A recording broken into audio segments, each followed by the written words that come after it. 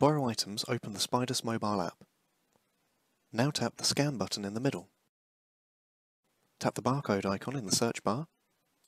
The app may ask permission to access your camera. You will need to agree to proceed.